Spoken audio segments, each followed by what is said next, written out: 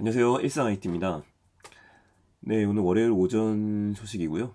월요일 오전 목소리 살짝 잠긴 상태라서 최대한 천천히 좀 이야기를 하려고 하니까 양해 부탁드리겠습니다. 내일 정도는 돼야지 원래대로 돌아오지 않을까 싶네요. 자, 오늘 첫 번째 이야기는 당근마켓 이야기 가지고 왔습니다. 아, 당근마켓에 송금 서비스가 있죠. 그리고 간편 결제 서비스를 맡고 있는 게 당근페이라는 서비스이고요. 이게 지난번에 제주도에서부터 먼저 테스트를 했었어요. 테스트가 끝나고 나서 이제는 전국으로 확대해서 서비스가 진행이 되려 합니다. 그래서 이벤트에 들어갔습니다. 화면 보시는 것처럼 이벤트 기간은요.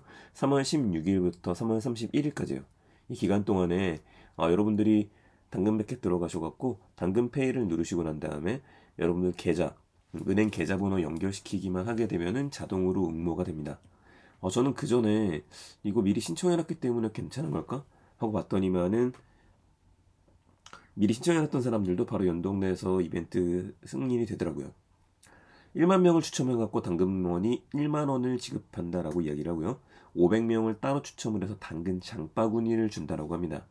뭐 개인적으로 당근 장바구니가 궁금해갖고 이걸 좀 받아보고 싶었었는데 아 그런데 이제 당근마켓도 마찬가지고요. 지금 대부분의 이런 프로그램들을 진행하시는 스타트업들이 메인으로 쓰고 있는 데가 페이스북이 아닙니다. 거의 다 인스타그램 위주로 좀 쓰고 있는 것 같아요. 제가 그 카드 뉴스를 보고 난 다음에 프로필 밑에 있는 링크를 누르라 그래서 이게 뭐지 하고 봤더니만 인스타그램이 있습니다. 요것도 그러니까 인스타그램에서 눌러야 되다 보니까 여러분들께서도 지금 보시는 화면에서 누르시거나 그렇지 않으신 분들 같은 경우에는 인스타그램 당근마켓 들어가시면 프로필 밑에 어, 당근 온라인 링크라고 하는 리뷰가 있으니 링크가 있으니까 이걸 누르시면 이벤트 페이지로 이동이 되게 됩니다. 자, 그럼 당근페이를 왜 만드는지 생각해 봐야겠죠? 당근페이를 만드는 이유 하나예요. 작년부터 계속해서 이야기 드리는 것 중에 하나가 지역 상권과의 연결. 당근마켓이라고 하는 게 지금 그 우리가 hyper local이라고 이야기하는 것처럼 지역 상권을 연결시키면서 꽤 많이 성장하기 시작했죠. 여기서 빠져 있는 부분이 바로 비용에 대한 부분들, 바로 commerce에 대한 부분이었었는데 이 commerce를 어, 결제 시스템을 태우게 된다라고 한다면 이거에 대한 데이터를 갖고 갈 수 있다는 얘기가 되게 됩니다. 물론 이제 그동안에도 어느 정도의 결제가 이루어지긴 했긴 했지만 이거를 전체적으로 안고서 총괄할 수 있는 입장은 아니었었거든요. 그렇다면 사람들이 당근페이를 많이 쓰게 해야 될 텐데요. 자, 지역 상권이 연결이 되기 전에 그 전에 사람들이 쓰게 만들고 경험을 하기 위해서는 지금처럼 일반인 거래에 있어서 지원을 해줘야겠죠. 그래서 지원금이라고 나온 게 아닌가 싶습니다. 물론 더 궁금해지는 거는 이 당근거래 지원금이라는 걸로 중고 물건을 살 때에도 이 돈을 보낼 수 있는 걸까? 라는 생각이 좀 들기는 해요. 물론 이제 가능해질 것 같긴 합니다. 어, 그렇게 되면은, 음, 만약에 여러분들이 딴 데 가가지고 당근마켓으로 거래를 할때 어, 만원 할인된 금액으로 사는 것하고 좀 비슷해지게 되겠죠. 어쨌든 저도 신청을 해놓은 상태이니까 당근머니 1만원 받았으면 좋겠네요. 한번 여러분께서도 꼭 당근 설치하시고 난 다음에 당근마켓 설치하신 분들이라고 한다면 당근페이 연동해 놓으시기 바랍니다. 자, 두 번째 얘기 들어가겠습니다. 두 번째 얘기. 네이버에서 지식 interactive라는 서비스를 출시했어요. 검색한 결과에 대해서 사람처럼 질문하면서 확인할 수 있는 서비스가 나왔다. 라는 얘기가 있어서 꽤 관심을 가지면서 제가 봤는데 자, 우선 네이버에서 지식 interactive라고 검색하시면 안 나옵니다. 어디서 검색하셔야 되냐면요. 모바일에서 검색을 하셔야 돼요. 그래서 제가 지금 검색해놨었던 페이지를 좀 가지고 왔습니다. 예, 제 채널에 지금 올려놓은 비공개로 해놨어요. 영상을 잠깐 보시게 되면은 티라노사우루스라고 제가 검색을 해보고 그렇게 되면은 이제 모바일 앱에서 대화하기 빨리 뛰어봐 사라진 시기 이런 식으로 나옵니다. 잠깐 보도록 할게요.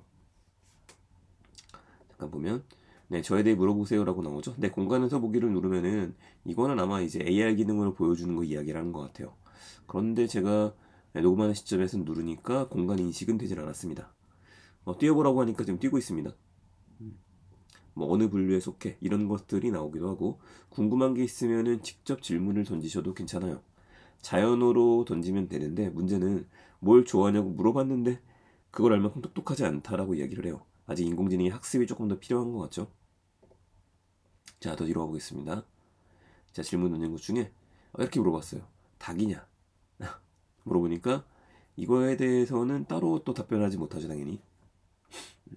음, 잡식 공룡이라 이 정도까지만 나왔습니다. 물론 연관 검색어로는 비슷한 게 나오는 것 같긴 합니다.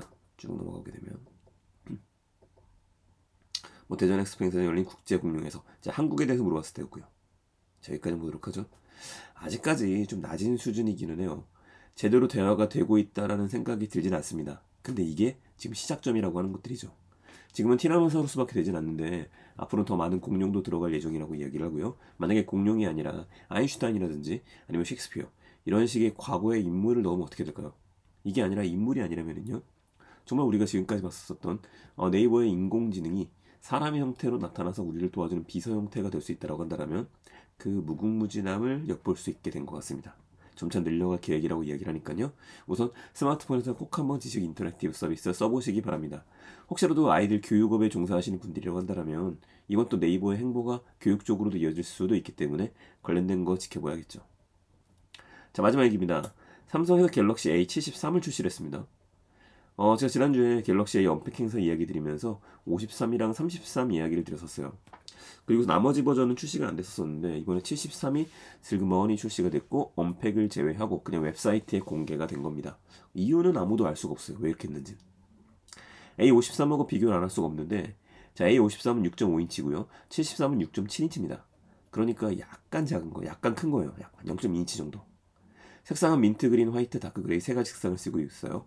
자, 53의 signature는 블루였던 데 비해서 73은 그러면 그린이라는 걸 알 수 있죠. 53은 엑시노스를 썼고 73은 퀄컴 스냅드래곤 765를 썼습니다. 성능 면에서는 73이 당연히 더 좋을 수밖에 없겠죠.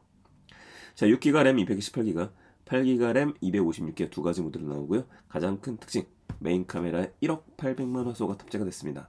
1억 800만 화소를 A 시리즈에 담은 거는 73이 처음이 되겠네요.